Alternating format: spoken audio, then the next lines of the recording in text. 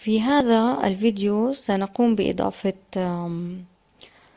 شريحة أو طبقة لمحافظات آه، سوريا ومن خلالها سنتعرف على الفوارق بين ال tips التلميحات وهو تعريفها يظهر الآن.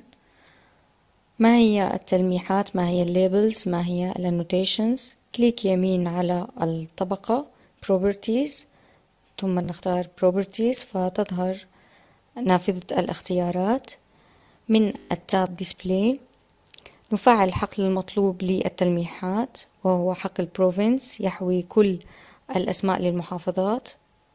من الضروري جدا تفعيل show map tips وإلا لا تظهر التلميحات. بالوقوف على كل ملاح على كل محافظة نجد الاسم يظهر لدينا. قد لا نحتاج إلى آه، ظهور الأسماء بشكل ثابت على كل محافظة. لذلك قد نلجأ إلى ال tips أو إلى التلميحات التي قد تساعدنا في معرفة مجموعة من المعلومات. ال labels هي عناوين ثابتة تظهر على الطبقة ونحن أيضا بإمكاننا تحديد هذه العناوين. فقط كليك يمين على الطبقة وكليك على label features فتظهر. لماذا لم تظهر كل labels وظهرت فقط اسم آه، أنطاكيا وذلك لأن بالذهاب إلى ال properties كليك يمين properties ثم ال tab labels نلاحظ أن الحقل المطلوب للل labels كان حقل مختار بشكل خاطئ وإنما الحقل الصحيح هو province نفس الحقل الذي اخترناه للتلميحات. يمكن أيضا التغيير بين الألوان وشكل الخط وحجم الخط للل labels حسب ما هو مطلوب. إذا التلميحات تكون آنية فقط أما ال labels تكون ثابتة.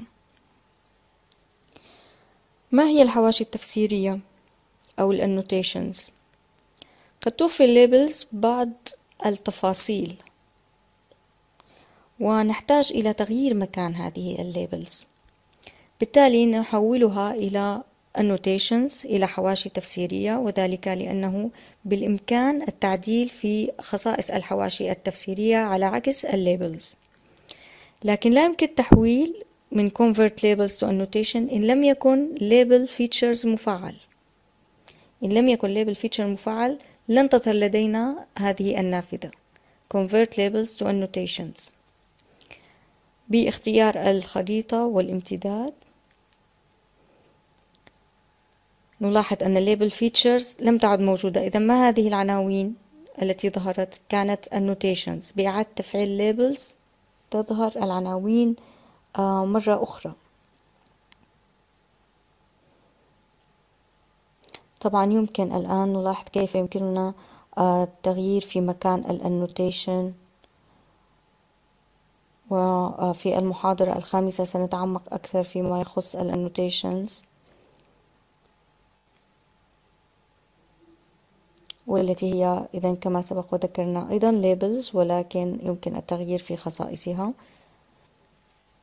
فقط. هذا هو الفارق بين ال labels وال annotations وال tips